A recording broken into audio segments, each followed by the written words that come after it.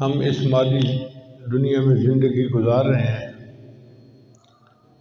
तो ज़िंदगी का ताल्लुक़ इसबाब के साथ है।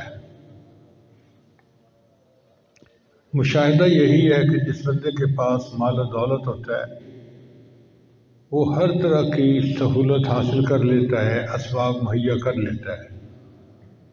मकान अच्छा होगा, गाड़ी अच्छी होगी, खाने अच्छे होंगे, लिबास अच्छा होगा, हर चीज़ अच्छी होगी। तो लामहला तौर पर हर बंदे के दिल में ये होता है कि मेरे पास माल की कसरत होनी चाहिए। माल को अल्लाह ताला ने कुरान जीत में खैर भी कहा है। इन खैर शदीद।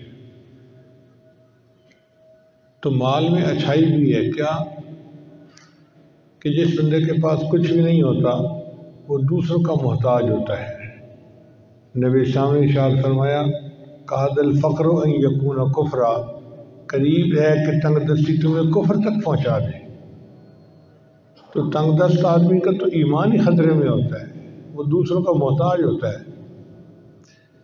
जैसे हमारे मुल्कों में आजकल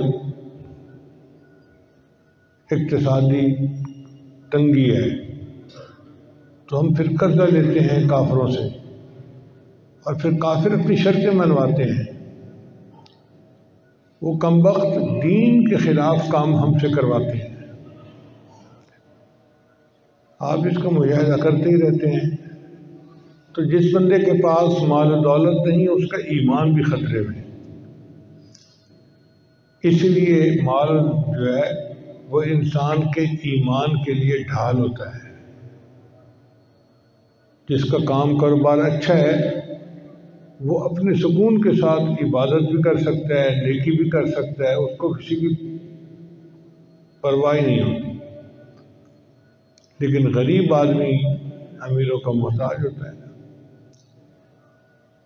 तो माल की मिसाल छुरी की माने है छुरी का अच्छा इस्तेमाल हो तो छुरी अच्छी है, और गलत इस्तेमाल हो तो छुरी बुरी है।